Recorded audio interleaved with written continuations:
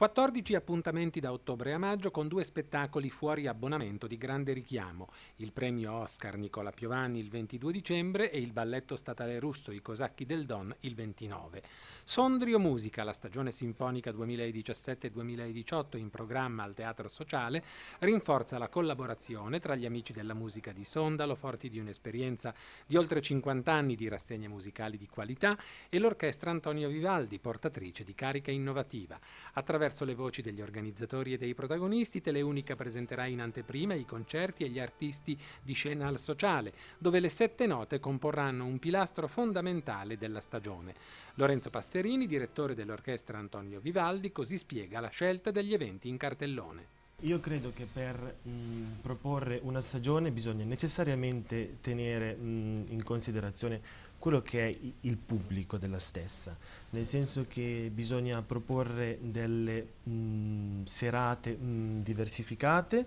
cercando di eh, mostrare quello che è a mio avviso l'eclettismo dell'orchestra sinfonica che non è paludata in un unico genere musicale della musica classica del Settecento e dell'Ottocento e di fatti questo mh, programma, eh, secondo me e anche secondo il presidente eh, degli Amici della Musica D'Agasso, riesce a mh, racchiudere eh, tutto quello che è lo spettro della musica sinfonica, di fatti eh, nella stagione c'è anche mh, un requiem di Mozart, ci sono dei cantanti solisti, c'è per l'appunto eh, un concerto jazz,